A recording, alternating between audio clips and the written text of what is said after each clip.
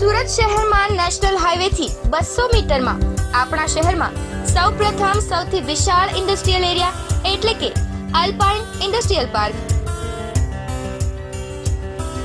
જેમાં આપના બિઝનેસનો વિકાસ કરવા માટે મશીનરી અને પ્રોડક્શન માટેની ખૂબ જ સરળ રીતે ઉત્પાદન કરવા માટે અહીંયાની જગ્યામાં અનુકૂળ આવે એવો પ્રોજેક્ટ એટલે કે અલ્પાઇન ઇન્ડસ્ટ્રીયલ પાર્ક. અમારા પ્રોજેક્ટમાં પાંચ કોમન પ્લોટ આપવામાં ફૂટનો વિશાળ રોડ, વિશાળ એન્ટ્રી તેમજ એક્ઝિટ ગેટ સમગ્ર પાર્કમાં સીસીટીવીની સુવિધા.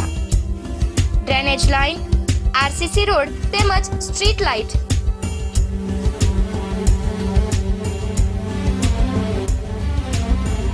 શોપિંગ સેન્ટર અને રમણીય વાતાવરણ વચ્ચેનો પ્રોજેક્ટ એટલે કે અલ્પાઇન ઇન્ડસ્ટ્રીયલ પાર્ક ગિરનાર હોટલની પાછળ ટોલ પ્લાઝા પાસે નેશનલ હાઈવે નંબર આઠ, કામરેજ, સુરત. જમ્મુ કાશ્મીરને સિત્તેર વર્ષ બાદ ત્રણસો સિત્તેરની કલમની બંધનમાંથી મુક્તિ મળી છે, જેના કારણે કચ્છમાં ઉજવણી કરાઈ હતી. જમ્મુ અને કાશ્મીરને સિત્તેર વર્ષ બાદ ત્રણસો સિત્તેરની કલમના બંધનોમાંથી મુક્તિ મળી છે, જેથી મોદી સરકારના આ હિંમતભર્યા નિર્ણયને વધારવા માટે તથા અભિનંદન આપવા માટે આતશબાજીનો કાર્યક્રમ કચ્છમાં યોજવામાં આવ્યો હતો. શ્રી અંજાર પ્રજાપતિ સમાજ દ્વારા આ કાર્યક્રમનું આયોજન કરવામાં આવ્યું હતું.